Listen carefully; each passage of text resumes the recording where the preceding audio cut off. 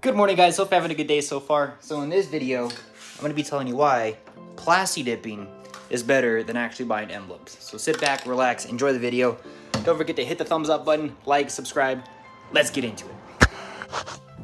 So, one of the main reasons is you can have different colors. You can have gray slash silver.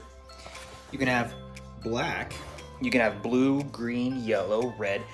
Any color that you can think of, they pretty much have. And it looks good too. So, one reason why plasti dipping is better than buying emblems. Number two, if you remember, I did a video on these about a year ago. I think it was like, I think I looked up the date, it was like July 2nd. I have not touched this plasti dip whatsoever, and it is still there. So it has been over a year. What is it, a year and two months? Year and a month? Something like that. Anyways, it's been quite a long time that I've had this plasti dip on. It has seen 105 degree weather. It has seen 28 degree weather. It has seen power washing. It has seen automated car washes. It has seen heat, cold, anything that you can think of other than like tsunamis. It has seen. And it still looks good except for except for that bug or whatever that is. I don't really know what that is. So yeah, that was number two. Number three, it's a whole heck of a lot cheaper than buying emblems. Let me just show you something real quick. So if you look on here, you can see Plasti Dip is like 30 bucks for four. You look up the emblems, like something that's very similar to this emblem right here. It goes for around $193 on AmericanTrucks.com. $193, guys. This is so much cheaper than the actual thing, and you can customize it to how you want it. Also, if you look up whatever spec truck you are, like these XLTs that I found on Amazon, it is like $30 compared to it being free and your original so you don't have to worry about scratching your paint when you're going around it or anything like that. Also the EcoBoost one is still perfect even with mud and everything else kicking up on it. So there, that's, that's, I don't really need to say anything else. It is so much cheaper, so much easier to do. And if you have a, a, little bit of time, you can customize literally anything you want on your truck. Highly, highly, highly recommended. So guys, like I said, plasti dipping is way better than buying emblems. You can pretty much get any color you want. You can do it however you would like. If you wanna make these, this little lariat right there, if you wanna make that chrome, you can take off that little little thing too. So I mean, it's fully customized to your spec and how you like it. Um, so that is that is pretty much it. As for the thousand subscribers, thank you guys once again very much. I do greatly appreciate it. I'm on emails. I have I'm on emails. I mean I have emails talking to a certain company about certain things for the truck that you guys recommended. So hopefully I'll be hearing back from them soon. Until then, that is pretty much it. So let me go ahead play a little bit of that Plasti Dip video for you.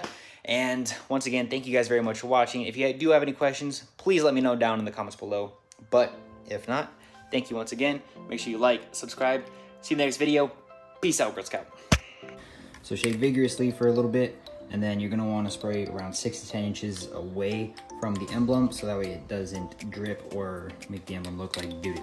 So, let's go ahead and spray the emblem.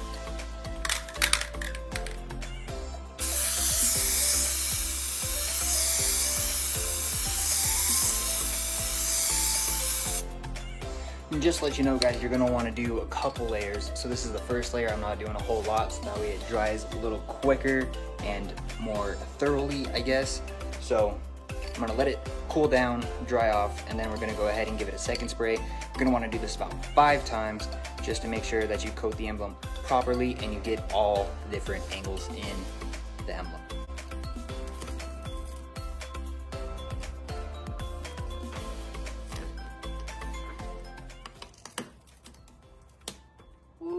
So once when you have everything that looks like this, everything is taken off, you're going to want to get a wooden toothpick and just go into the creases and the little indentations and try to peel off as much plasti dip as you can without ruining the actual plasti dip.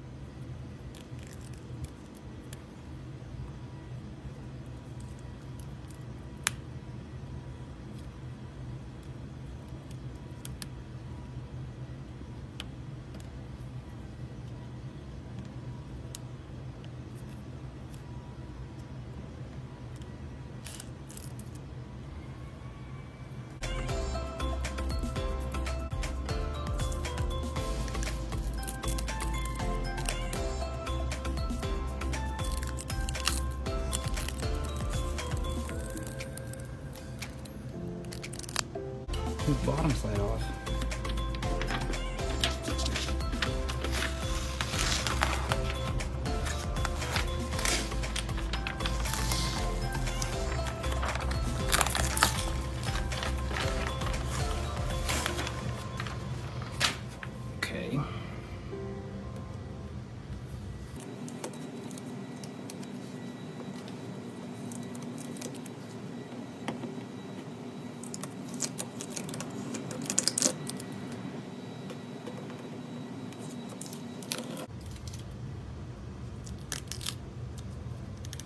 See, if you do it right, it should just peel away from the emblem.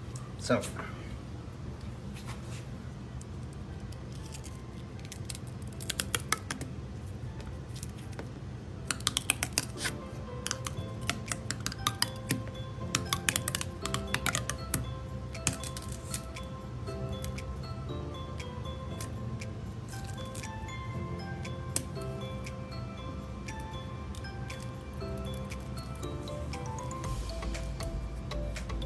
we go.